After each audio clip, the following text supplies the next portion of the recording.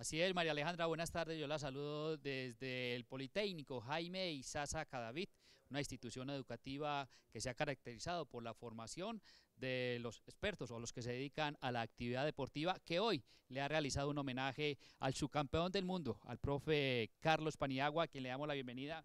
Profe, aquí comenzó toda esta historia. Sí, primero que todo, un saludo muy especial y a ver si eh, feliz de estar acá eh, en mi universidad, en el Politécnico Jaime Sasacadaví, darle gracias a, nuestro rector eh, Jairo Osorio por este reconocimiento que, le, que nos realiza a, Viviana Cardona, preparadora física, Carlos Paniagua y en general a la selección que estuvo representándonos también en la India. Profe, gracias, porque el fútbol femenino sigue creciendo, porque se ha, sabido rodear también de profesionales como, como Viviana Cardona, quien felicitamos.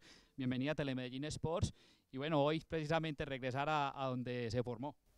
Hola, un saludo especial para todos. Sí, una alegría inmensa. Yo hace rato no venía por estos lados, pues por el compromiso que teníamos con las elecciones pero volver a nuestra casa es algo maravilloso, el reconocimiento de parte del rector, al que le agradecemos pues inmensamente, a la profelina, a Jaime, que era el, el director de deportes de acá de nuestra universidad. Ellos han recibido el homenaje por parte de la institución educativa Jaime Isaza Cadaví, homenaje que se extendió a las jugadoras Catalina Usme y Daniela Montoya. María Alejandra, por ahora está toda la información en NTM, Medellín Sports, se ven todos los deportes.